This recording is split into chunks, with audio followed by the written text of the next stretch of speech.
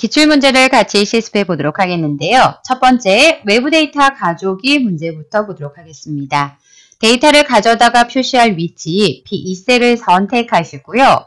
데이터에 가시면 외부 데이터 가져오기에 기타 원본의 Microsoft Query를 선택합니다. MS Access 데이터베이스 선택하시고 확인을 클릭하시고요.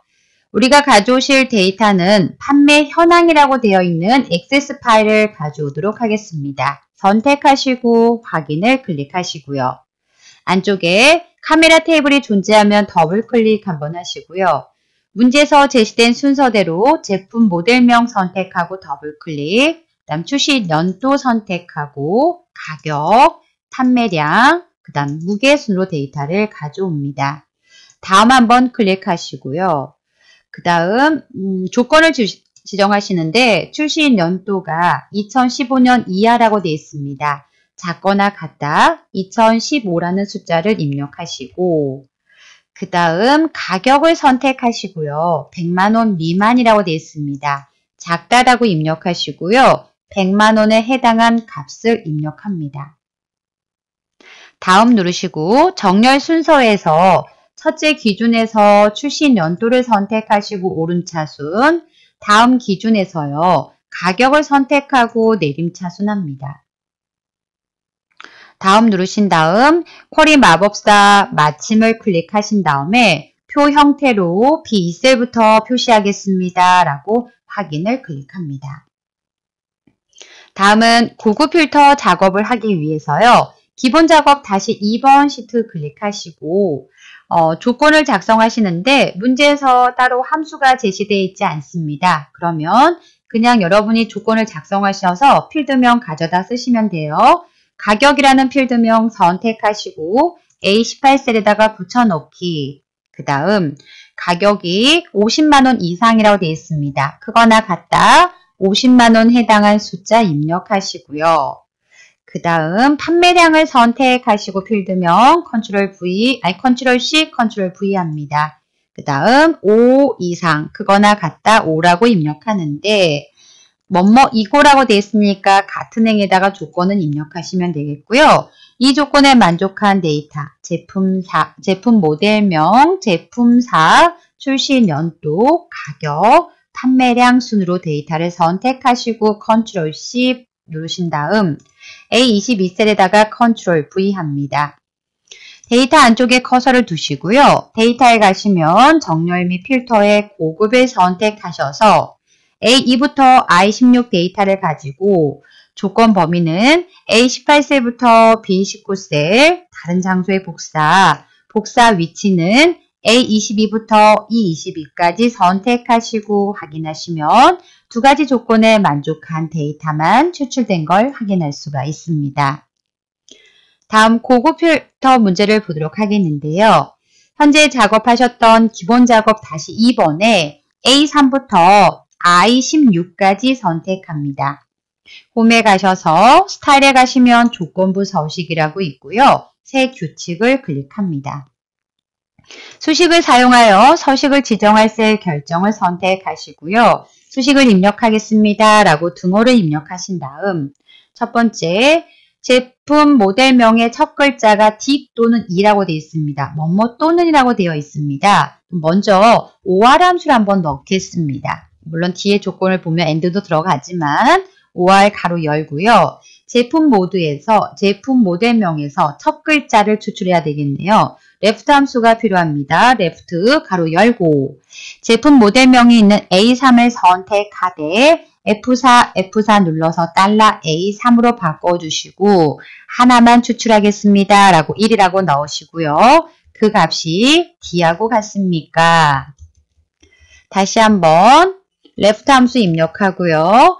A3셀 선택하되 F4, F4 누르셔서 달러 A3으로 바꿔주고 쉼표 1. 그 값이 2하고 같습니까? 라고 조건을 작성하고 5R에 대한 가로를 닫습니다. 첫 번째 조건을 작성하셨고요.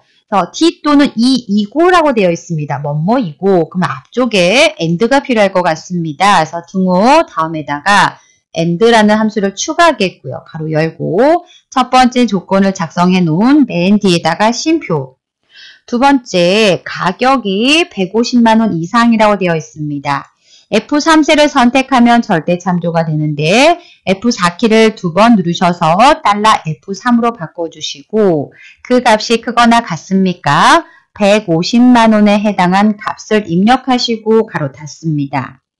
이제 이 조건에 만족하다면 서식을 클릭하셔서요. 글꼴 스타일을 굵게 하라고 되어 있고요. 글꼴 색깔을 빨강으로 하라고 되어 있습니다. 빨간색을 선택하시고 확인 한번 누르시고요. 다시 한번 확인 누르시면 조건에 만족한 데이터에 서식이 들어가 있고요. 샵샵샵이 되어 있다면 열 너비를 조절해 주시면 되겠습니다. 다음은 네 번째입니다. 시트 보호와 통합 문서 보호인데요. 먼저 H3부터 H16에는 판매 금액이 계산되어 있습니다. 가격 곱하기 판매량이라고 계산된 수식을 확인할 수가 있는데요. 문제에서 셀 잠금과 수식을 숨기라고 했습니다. 범위를 지정한 상태에서 마우스 오른쪽 셀 서식에 가셔서 보호에 가시면 잠금은 체크가 되어 있는데 숨김은 체크가 안 되어 있습니다. 숨김을 한번 체크하시고 확인 한번 누릅니다. 어, 아직도 안 숨겨져 있는데요. 네, 검토에 가셔서요. 시트 보호를 누르셔서요. 잠긴 셀의 내용과 워크시트를 보호하겠습니다. 단 문제에서 암호를 넣지는 않으니까 암호 안 넣을 거고요. 잠긴 셀을 선택하거나 잠기지 않은 셀 선택하는 거는 허용하겠습니다. 라고 체크가 되어 있는지 확인 한번 누릅니다. 다시 한번 통합문서 보호를 클릭하시고요. 현재 통합문서가 열릴 때마다 통합문서의 창을 같은 크기와 위치 유지하도록 구조가 아니라 창을 체크하시고 확인 한번 눌러주시면 되겠습니다. 기본 작업의 외부 데이터부터 시트 보호와 통합 문서 보호까지 살펴보셨고요. 다음은 계산 작업 문제 보도록 하겠습니다. 계산 작업, 어, 제품사의 가, 제품사와 가격을 이용해서 표 위에다가 음, P21 영역부터 25 영역에다가요. 제품사별 최고가를 계산해서 표시하라고 했습니다. 함수는 LARGE 함수하고요. if 함수 사용하라고 했는데요. 어, P21에다가 equal 음, 첫 번째로 큰 값을 구하면 최고값을 구할 수가 있겠죠. 그래서 LARGE, 그다음 if 괄호 열고요. 제품사가 캐논에서 가장 큰 값을 구하기 위해서 B4부터 B17 영역을 선택하고 절대 참조, 수식을 복사할 거니까 그 값이 바로 왼쪽에 있는 캐논과 같습니까? 라고 비교하고요. 이 조건에 만족하면 저희는 가격에서 최고값을 구할 거니까요. 가격 데이터가 있는 F4부터 F17을 선택하되 절대 참조, 괄호 닫습니다. 캐논에서 어, 조건에 만족하면 가격을 가져올 거고요. 쉼표 1이라고 넣게 되면 첫 번째로 큰 값이라고 최고값을 구할 수가 있습니다. control shift enter 눌러서 아래까지 수식을 복사하시면 제품사별 최고가를 구할 수 있습니다. 두 번째, 어, 제품사와 가격을 이용해서요. 표 2에다가 어, 평균값을 구하라고 했습니다. 마찬가지로 에버레지와 if를 이용한 배열 수식입니다. 평균을 구하겠습니다. 라고 에버레지 입력하시고요. if 입력하시고 가로 열고요.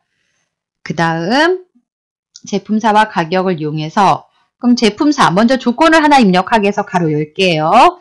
제품사가 있는 B4부터 B17까지 선택하고 절대 참조. 그 값이 캐논과 같습니까? 가로 닫고 곱하기. 두 번째가요. 음, 제품사별 가격이요. 50만원 초과 200만원 이하라는 조건을 주라고 했습니다. 그럼 두 번째 조건을 입력하기 위해서 가로 열고요. 가격을 F4부터 F17을 선택하되 절대 참조하시고요. 그 값이 크거나 같습니까? 50만원. 아, 50만원 초과니까 그냥 크다라고만 표시해야 되겠네요. 크다 50만원이라고 입력하시고 가로 닫고 곱하기 200만원 이하라고 되어 있습니다. 다시 한번 가로 열고요. 가격이 있는 영역 선택하되 F4 눌러서 절대 참조 작거나 같다 200만원에 해당한 값을 입력합니다. 이하라고 되어 있으니까 작거나 같다라고 넣으시면 되겠고요. 여기까지가요. 조건이었습니다. 이 조건에 만족하면 쉼표 저희는 실제적으로 가져올 데이터는 가격에서 가져와서 F4, F4부터 F17 선택하고 절대 참조했고요. 가져와서 average 함수에 대한 아, if에 대한 가로 닫고 average 함수에 대한 가로를 닫은 다음에 어, 조건에 만족한 데이터의 가격을 가져오면 average 함수를 통해서 평균을 구할 수가 있습니다. control shift enter 눌러서 수, 배열 수식을 완성하시고요. 아래까지 수식은 복사해 주시면 되겠습니다. 열 너비가 좁아서 표시가 되지 않는다면 조절해 주시면 될 것 같고요. 다음 세 번째 사용자 정의 함수입니다. 사용자 정의 함수는 판매액을 구하는 사용자 정의 함수입니다. 개발 도구 탭에 가셔서 비주얼 베이직 또는 Alt F11을 누르시면 되겠고요. 삽입에 가셔서 모두를 클릭합니다. 그 다음 문제 제시된 사용자 정의 함수 입력합니다. public, function, fn, 판매액 이라고 입력하시고요. 입력받는 값은 판매량과 가격을 입력받습니다. 라고 작성하시고 조건을 작성합니다. if 판매량이 판매량 곱하기 가격을 계산하되 아, 판매액은 계산할 건데요. 그러면 잠깐 이거를 엔터 누를게요. if 판매량이 5, 5개 이상 크거나 같다, 5보다 크거나 같다면 저희는 then fn 판매액에다가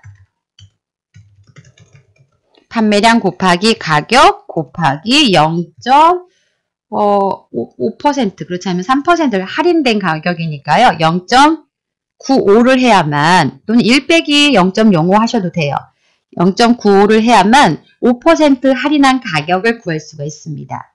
그렇지 않으면 음, 판매량이 5보다 크거나 작, 아니, 크거나 같지 않다면 S 저희는 조금 전에 작성했던 판매 금액에다가 금액에 0.95가 아니라 3%만 뭐 할인한대요. 그럼 0.97로 수정해 주면 되겠죠. 0.97. if 함수를 사용하셨으니까 and if로 if 구문을 닫아주시면 되겠습니다. 파일에 가서 우리 닫고 마이크로 엑셀로 돌아가, 돌아가기 누릅니다. H4셀에서요. 함수 삽입 한번 누르셔서요. 사용자 정의 함수에 fn 선 판매액 선택하시고 확인 한번 누르시고요. 판매량, 그 다음에 가격 선택하시고요. G4, F4 선택하시고 확인, 아래까지 수식을 복사하시면 사용자 정의함수를 통해서 값을 구할 수가 있습니다. 네, 다음은 네 번째 어, 계산 작업입니다. 문제 봤더니 제품 모델명 뒤에 세 글자를 4로 나눈 나머지가 0이면 이라고 되어 있습니다. 구분 1, 1이면 구분 2. 그래서 어, 추출된 값에 따라서 값을 쭉 나열할 건데요. 추주 함수를 사용하라고 했습니다. 그래서 위치를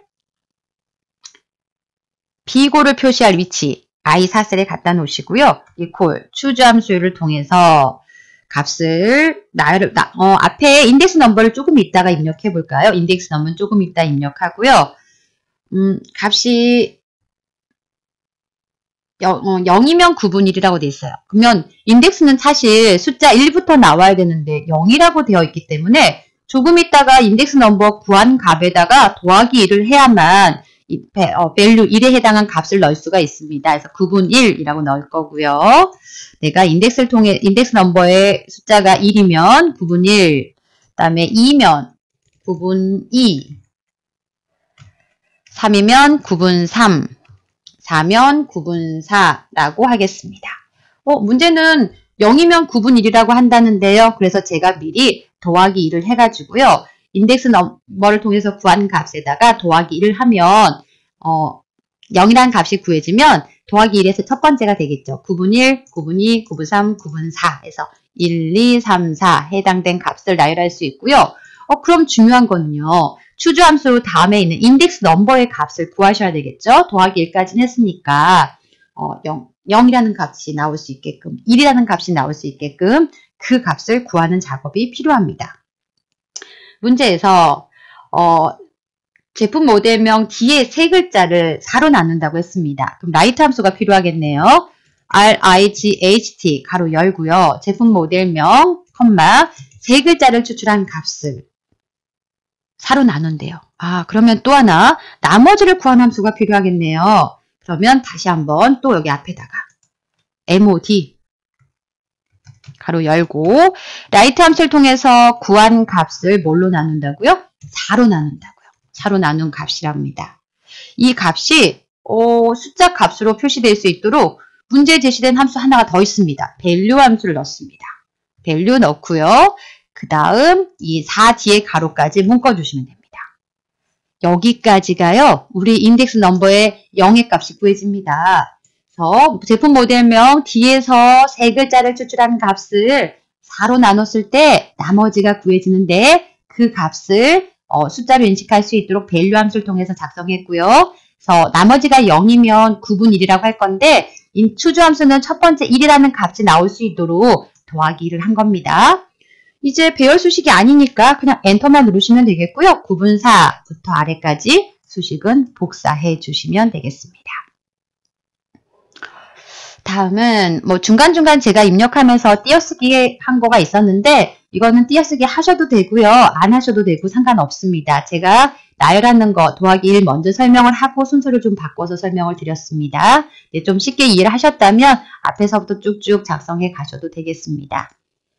다음은 계산 작업 다섯 번째입니다. 화소가 2000 이상, 가격이 전체 평균 이상인 제품 수를 구하시오 라고 되어 있습니다.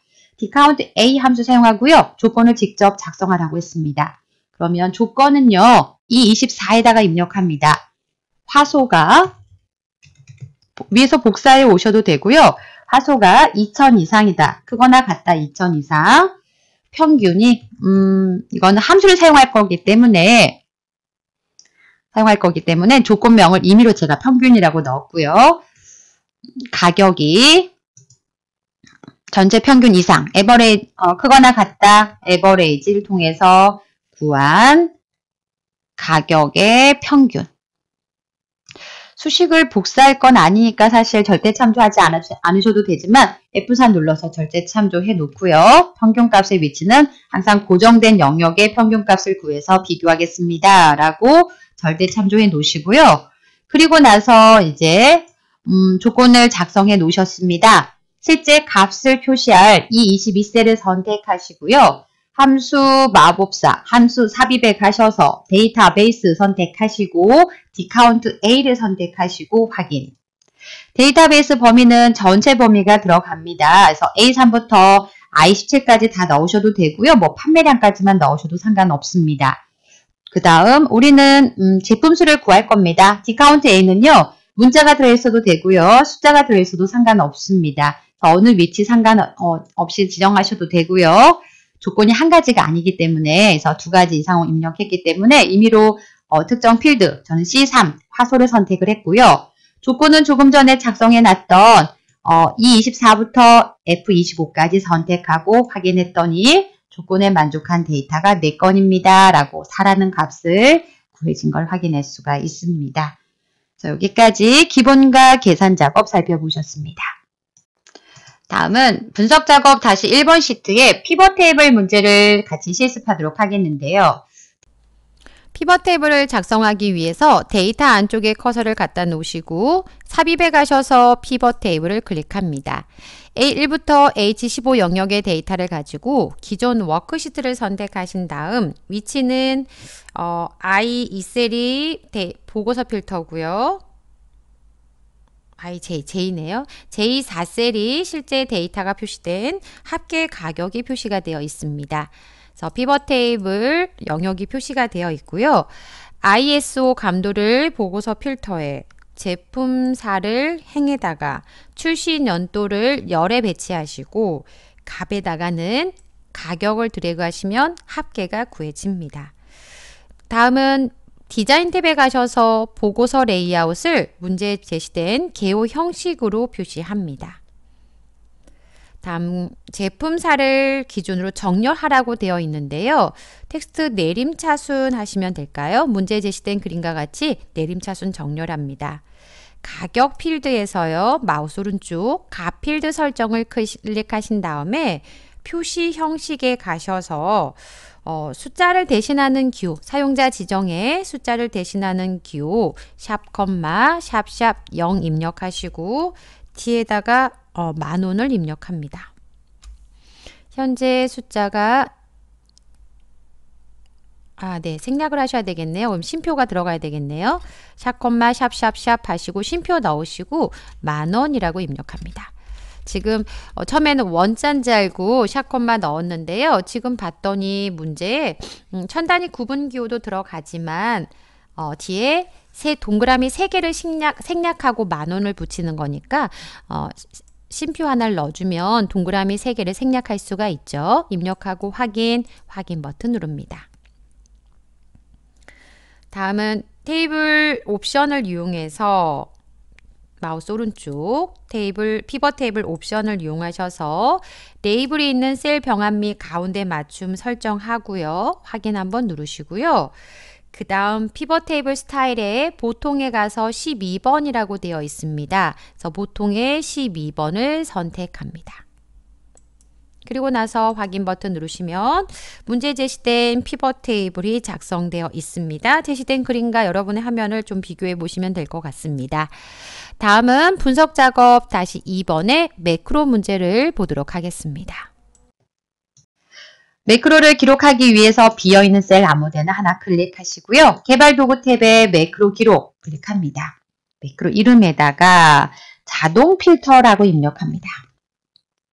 자동 필터 입력하시고 데이터 안쪽에 커서를 두시고 데이터에 가셔서 정렬 및 필터에 필터를 클릭합니다. 자동 필터를 이용하여 제품 모델명을 기준 오름차순, 제품, 제품 모델명에서 목록 단추 누르셔서요. 텍스트 오름차순 정렬 클릭합니다. 두 번째, 판매 금액을 선택하셔서요. 어, 500만원 이상, 그러면 어, 숫자 필터에, 필터에 가셔서 사용자 지정 필터를 이용하셔야 될 것 같습니다. 그래서 오른쪽에 입력하는 값보다 크거나 같습니다. 라고 해서요. 5천만, 아니, 500만 원에 해당한 값 입력하시고 그 다음 그리고 작거나 같다라고 부등호를 선택하시고요. 어, 천만 원 이하 1, 하나, 둘, 셋 다시 하나, 둘, 셋, 넷, 다섯, 여섯, 일곱 개를 넣어야 되죠. 동그라미 개수가 일곱 개입니다. 입력하시고요. 확인 한번 눌러보시면 어 제가 숫자가 좀 잘못된 것 같죠? 판매 금액에 숫자 필터에 사용자 지정 필터에 가서 아 여기가 잘못됐네. 6개를 입력해야 되는데 7개를 입력했습니다. 그래서 500만 원 이상 그 다음에 1000만 원 이하에 해당한 데이터만 추출할 수가 있습니다. 이제 추출 작업을 다 하셨다면 개발 도구 탭에 가셔서 기록 중지 버튼 눌러서 매크로 기록을 종료하시고요.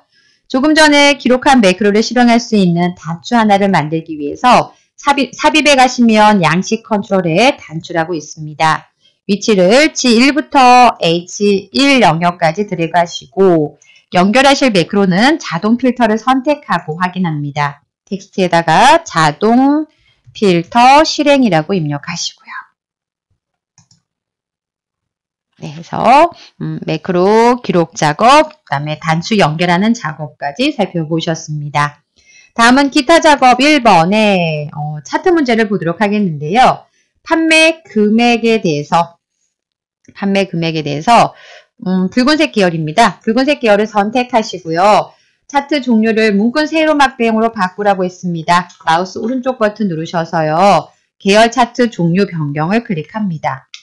그 다음 세로 막대형 첫 번째 있는 묶은 세로 막대형 선택하시고 확인합니다. 또 하나 세로 막대를 보조축으로 표시할 수 있도록 판매 금액에서 마우스 오른쪽 데이터 계열 서식에서 보조축 선택하고 닫기를 클릭합니다. 다음은 차트 제목을 표시하기 위해서 레이아웃에 가시면 차트 제목에 차트 위를 클릭합니다. 그 다음 기존에 어, 문제 제시된 차트 제목 제품, 모델별, 판매, 현황이라고 입력합니다. 네, 차트 제목 입력하셨다면 차트 제목을 선택해서요. 도형 스타일이라고 되어 있습니다. 선택하고 서식에 가셔서 도형 스타일에 가시면 보통 휴가에 보통 휴가에 그 다음 음, 황록색 강조 3이라고 되어 있습니다. 동효가의 항록색 강조 3을 선택 합니다. 서, 음, 서식 지정하시고요. 다음은 음, 세 번째 보조축의 표시 단위입니다. 오른쪽에 표시된 보조 세로축에서 마우스 오른쪽 축 서식을 클릭하시고요. 단위를 만 단위로 표시하라고 했습니다. 주 단위에 가셔서요. 어, 만 단위로 아, 주 단위는 아니고 표시 단위에서 만을 선택합니다. 만을 선택하시면 될 것 같고요. 그 다음에 차트에 단위 랩을 표시하라고 되어 있으니까 표시되어 체크가 되어 있나 확인하시고요. 닫기 한번 누르시면 화면과 같이 어, 축서식에 단위를 표시할 수가 있습니다. 다음은 차트 영역의 안쪽 가운데 그림자를 지정하라고 했습니다. 차트 안에서 마우스 오른쪽 차트 영역 서식에 가셔서 그림자에 가셔서 미리 설정에 안쪽 가운데 선택하고 닫기 누릅니다. 그 다음 가격 데이터 계열에서 가격이 어, 거꾸로 선형이네요. 가장 큰 값, 음, 이쪽에 있는 첫 번째 값이죠. 첫 번째 요소를 선택하시고요.